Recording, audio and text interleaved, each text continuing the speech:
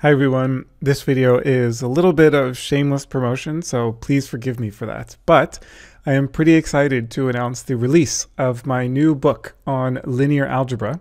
It's available in Amazon, both in uh, paperback and in Kindle version. This is the inside of the book, so what you're looking at is actually the PDF of the proofs.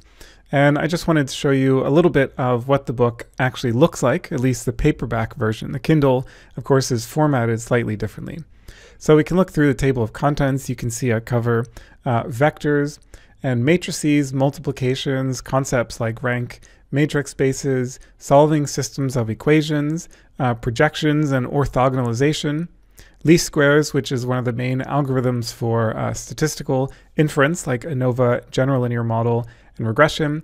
And of course, no linear algebra book is complete without a thorough discussion of eigendecomposition, the SVD, and uh, I have some additional material on quadratic forms and um, some discussions of applications in data, in particular covariance matrices and principal components analysis. Here I'm showing you some examples of what the book actually looks like. So this is from uh, the chapter on uh, vector multiplication. So you see there's some equations, of course, it's a math book after all, but this is not just, you know, a, laundry list of hundreds and hundreds of equations. I tried to explain everything in clear and plain English.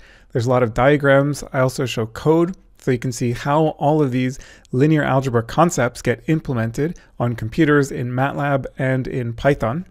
And let's see, there's also practice problems and lots of exercises, and I give you the answers to all of the exercises and all of the practice problems, not just the odd numbered answers. So you should definitely come over to Amazon.com and check it out. I'll put a link directly to the book in the description below the video. I started writing this book around three and a half years ago, so it wasn't uh, not full time work, of course, three and a half years, but I did spend quite a lot of time thinking about this book and thinking about how to put it together. So I hope you enjoy it. I hope you find it interesting and educational.